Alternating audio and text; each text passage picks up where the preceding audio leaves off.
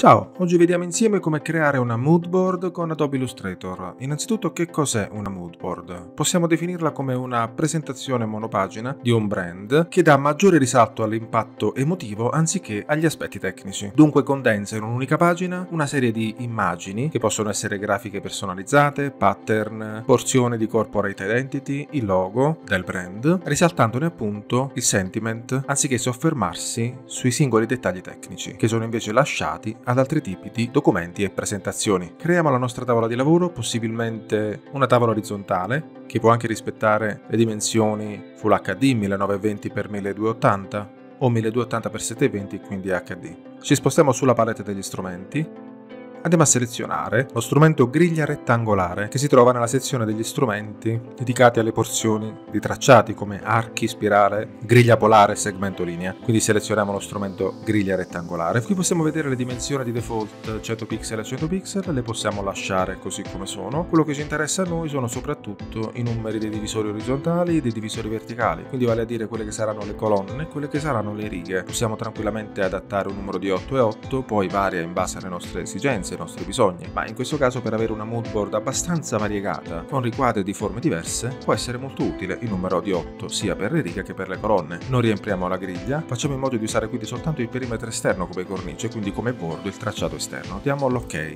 Con lo strumento sposta Sposto la griglia selezionata verso l'angolo sinistro in alto e vado a fare un ridimensionamento libero in modo da far coincidere più o meno la stessa distanza dai bordi della tavola. Ora con la griglia selezionata mi sposto sul menu oggetto tracciato e vado ad applicare uno scostamento del tracciato. Si apre il relativo pannello in opzioni. Qui possiamo decidere appunto il tipo di spigolatura. Se attiviamo infatti la modalità anteprima, andiamo subito a vedere come lo scostamento ci permette di creare dei tracciati tra un riquadro e l'altro, sostanzialmente definendone la distanza.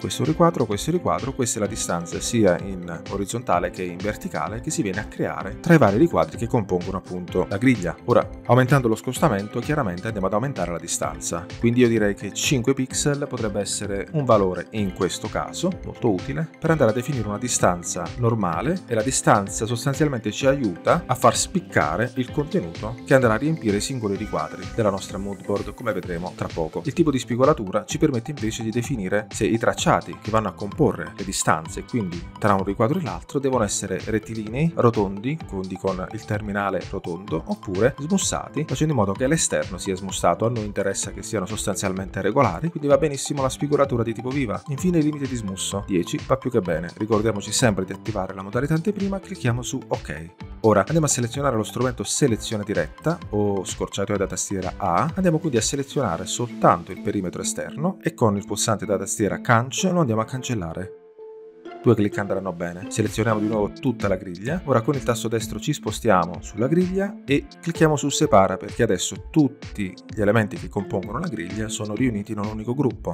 Andiamo a separare. Ora con la griglia selezionata andiamo sulla palette degli strumenti e andiamo a selezionare lo strumento crea forme perché da questa griglia dobbiamo ottenere dei riquadri e questi riquadri ospiteranno le varie immagini o grafiche personalizzate della nostra mood board. Quando passiamo il mouse sui singoli riquadri vediamo che il cursore è attivo dunque lo strumento è attivo e pronto per essere utilizzato. Se invece clicchiamo sul tasto Alt vediamo come accanto al cursore si attiva l'iconcina meno, significa che in quel momento stiamo nella possibilità di sottrarre la forma dall'area, così invece la aggiungiamo quindi teniamo premuto e andiamo a unire i riquadri della griglia per formare i riquadri ospitanti, in questo modo.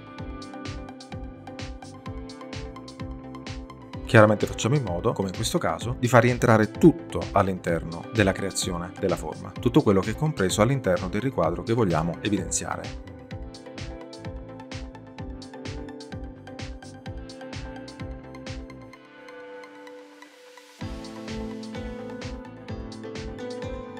Come vedete io lascio le distanze tra i vari riquadri in modo da cominciare a marcare le differenze tra uno e l'altro.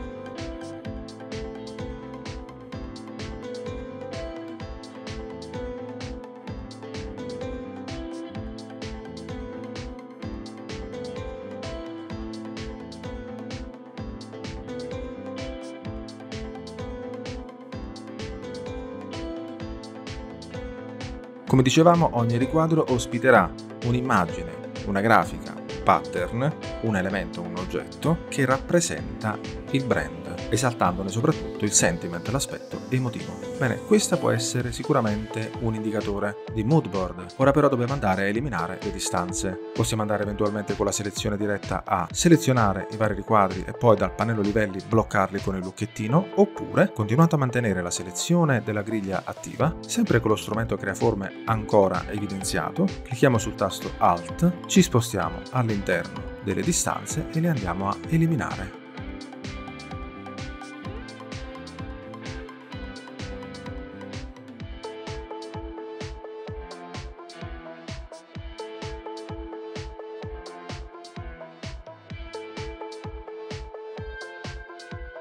Ed ecco la struttura della nostra moodboard con tutti i riquadri e le relative distanze, tutte perfettamente uguali e coincidenti tra di loro. Questo potrebbe essere il risultato quindi quando disattiviamo la selezione e aggiungiamo un colore di traccia a tutti i singoli riquadri, selezionando e attivando appunto come abbiamo visto in precedenza o il colore della traccia dal pannello strumenti che si trova nella parte bassa oppure attraverso il pannellino colore attivando sempre la traccia e associando quindi un colore. Ma come possiamo andare a riempire questi riquadri? Chi ci dà l'idea di come possiamo possiamo andare a riempire. Cioè esiste una metrica, esistono delle regole, non esistono delle regole precise chiaramente, ma ci possiamo affidare all'intuito e soprattutto al nostro senso di comunicazione perché dobbiamo sempre considerare che quello che andiamo a inserire in questi riquadri deve trasmettere il massimo dell'empatia verso il nostro cliente finale, ad esempio, in favore del nostro progetto, che ricordiamo in questo caso è la presentazione del nostro brand. E un'idea potrebbe essere questa. Ecco, come possiamo vedere, vediamo nella parte alta, nel primo riquadro principale, il logo, quindi questo ospiterà sostanzialmente il vettoriale del nostro nostro logo, che potrà essere solo lettering o pittogramma più testo o solo pittogramma. Poi ho immaginato alcuni riquadri come questo e questo più in basso che ospiteranno magari due pattern realizzati con il loghetto o con elementi, oggetti che hanno contribuito alla realizzazione del logo. Ti lascio in descrizione il link del video in cui ti mostro come creare un pattern in modo semplice e veloce. Qui possiamo inserire dei mockup, magari realizzati con Photoshop. Anche per questo ti inserisco in descrizione il link su come realizzare un mockup con Adobe Photoshop e questi mockup possono ospitare appunto delle immagini del brand, magari delle immagini con il logo. Qui poi possiamo mettere ad esempio l'icona del logo su uno sfondo magari con i colori caratteristici di questo logo. Nella parte bassa per esempio la palette con tutti i riquadri dei vari colori che riguardano appunto il logo, sia il principale che i secondari. Dei riquadri li ho lasciati per esempio per ospitare dei dettagli di foto, foto che hanno sempre attinenza con la tematica lanciata e trattata dal nostro logo. Un'alternativa del logo che potrebbe essere una versione alternativa, una versione minimal, una versione al contrario dove il testo prende il dominio rispetto al pittogramma. Sono tutte idee in evoluzione. Uno spazietto dedicato alla brand identity, per esempio, come un capo d'abbigliamento con eh, stampato lo stemma del logo, oppure un'insegna di un'attività commerciale che potrebbe essere appunto il negozio del brand, il negozio che vende quel prodotto. Chiaramente questa non è una regola fissa, possiamo decidere in base a quelle che sono le soluzioni creative, di cui qui vediamo una parte, dove andare a collocare cosa. Questo è un esempio pratico. Vediamo quindi sulla base di questo schema cosa sono andato a creare. Ecco qui, vediamo come ogni riquadro della mia moodboard ospita un'immagine, una grafica, un elemento che nasce e che viene realizzato proprio per enfatizzare il sentiment